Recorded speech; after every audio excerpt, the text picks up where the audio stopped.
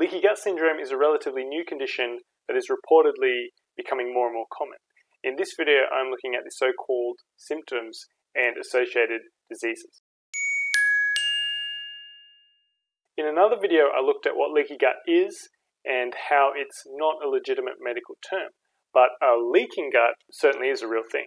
It's known medically as an increase in intestinal permeability, and this is thought to be caused by genetics coupled with certain lifestyle factors such as chronic stress and poor diet. There are numerous symptoms thought to be caused by increased intestinal permeability or leaky gut, although they're strictly anecdotal. The most common symptoms are abdominal discomfort, digestive issues, food sensitivities or food intolerance, and autoimmune diseases such as Hashimoto's or celiac disease.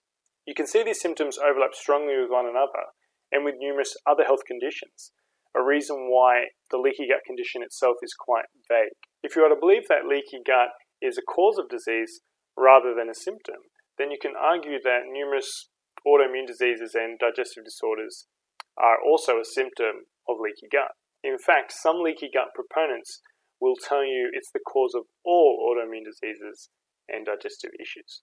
Observational studies show that intestinal permeability does exist in some cases of type 1 diabetes, celiac disease, autism, Crohn's disease, ulcerative colitis, asthma, multiple sclerosis, and more. But it's not observed in all cases, which suggests it's a symptom of those conditions and not the cause.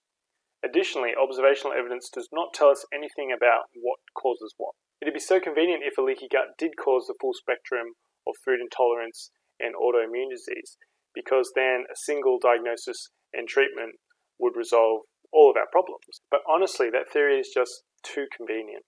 Thanks for watching. If you found this useful, please give it a thumbs up and you can leave a comment and be sure to click the red button below this video to subscribe to the Diet vs Disease YouTube channel so you don't miss other videos like this one.